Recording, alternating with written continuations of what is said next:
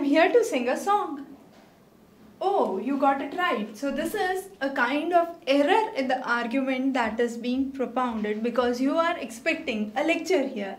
And this is what is a fallacy. So, whenever we talk about fallacies, we talk about understanding the errors that are there in the reasoning. Now, these errors could be of various types. These could be formal errors or these could be informal errors. The idea is the speaker or the writer who is there is trying to manipulate the audience for some reason or the other. Now, these for, uh, fallacies, as we said, could be formal or informal. Now, let's understand the difference between the two. When I talk about formal fallacy, it is a logical error that is there. So, if I say all cats are black, that's my first premise. My second premise is all dogs are black. Now these two animals I'm saying if they are, they are black. But on these two premises I draw a conclusion that all cats are dogs. Then this conclusion is irrelevant or it's not a correct conclusion or I could say it's an invalid deductive argument that has been done and this is a kind of formal fallacy that exists. The next is the informal fallacies. Informal fallacies are of four types. We would understand those one by one, but let's first talk about what actually is an informal fallacy. When I say an informal fallacy, it is because of a irrelevant information that is present and this irrelevant information is given to the audience and when the audience examine it it comes out to be incorrect and that is what is a informal fallacy is. Now this informal fallacy could be as I said of four types. First is the fallacy of relevance. Relevance means the premises are not relevant to the conclusion okay so premises don't have any i would say uh, direct connection to the conclusion that are there or they are irrelevant. So that is what is fa fallacies of relevance. The next is fallacies of defective induction. When i say fallacies of defective induction what does it mean? It means that the premise is relevant to the conclusion but is very very weak. And it is so weak that the conclusion if i'm trying to rely on that it's a real failure or a blunder i could say because the fallacies the premises are too weak to prove the conclusion by itself. So that is defective induction.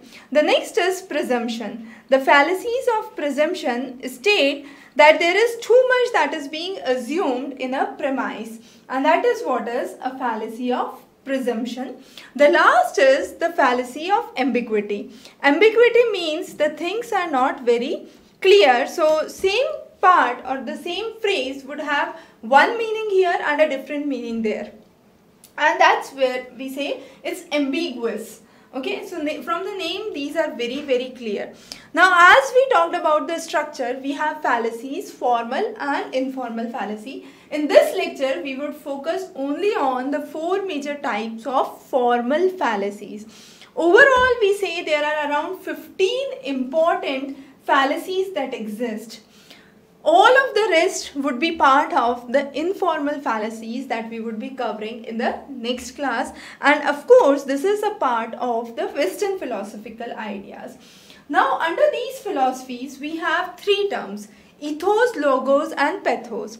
Ethos means an argument that appeals to the ethics or the authority so it's credible and basically there is a kind of uh, uh, attack on credibility we could say the next is logos which is an argument that appeals to the logic so if there is any unfair advantage of uh, the claims that are put by the speaker, we would say it is logos. And then you have pathos, which is an argument that appeals to an individual's emotion. So they attach positive association to one who is speaking or the author's argument and negative association to the opponent's argument. And that is what is pathos. So we talked about ethos, logos and pathos. Now talking about the very first kind of formal fallacy. This is appeal to probability. Now a very good example. There are lots of dark clouds in the sky and Dark clouds mean rain. So, what does it mean? I am not very sure that it would rain but just because there are dark clouds in the sky I say it would rain tonight and that is a appeal to probability because there is a dark cloud there are dark clouds which are present I feel or I believe it's highly probable that it would rain today and that's where we understand a fallacy which is appeal to probability. It's not certain, it's uncertain that it would rain, but it's just highly probable. The next is bad reasons fallacy, which is also known as argumentum ad logicam. Now, what is a bad reason fallacy? Always since a childhood you could understand, if you have bad arguments, then definitely the conclusion would be bad. A child can say that dogs are afraid of height. And with this statement, a child can uh, also say, therefore dogs do not fly. Now, the conclusion in itself is correct. Dogs do not fly. But the argument associated to it is false. Dogs are afraid of height because of which they do not fly. So the premise and the conclusion that you are trying to derive from the premise is not apt and therefore we say bad arguments lead to a bad conclusion as simple as that. So this is a very direct example of bad reasons fallacy. Again a kind of formal fallacy because there is a logical problem that is associated to it.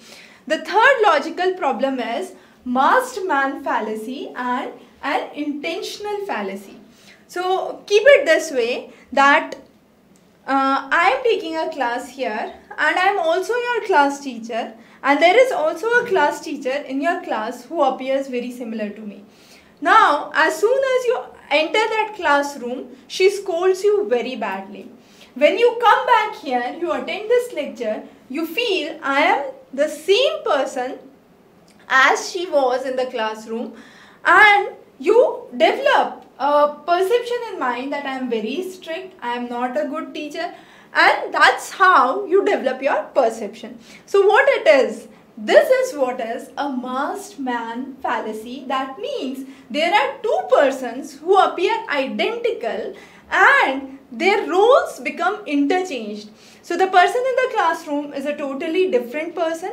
A person here is a totally different person. But you just believe that they two look identical and therefore you develop this fallacy that since the person in the classroom is strict, this person here is also strict.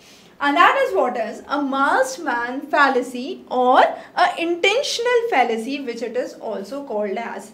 So again there is a logical problem and therefore it is a formal fallacy that it appears to be. The next, next is non sequitur.